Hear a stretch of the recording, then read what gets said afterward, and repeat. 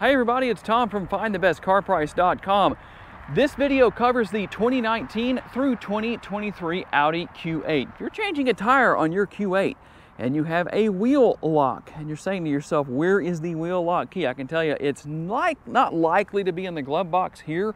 It might be, but typically what's going to happen is it's going to be here in the rear cargo area under the floor where everything is to do with your tire, your spare tire.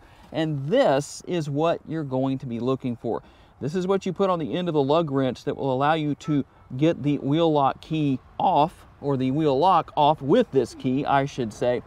So it does have its own little spot right there, but if you look and it's not there, it will be somewhere within the interior in case that is something you need to know about.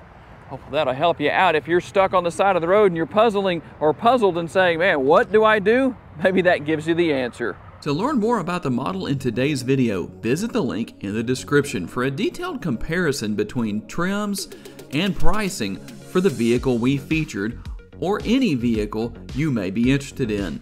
These pages feature information such as our recommended trim level based on price, value, and features. Thank you for taking the time to watch today's video. We look forward to seeing you next time.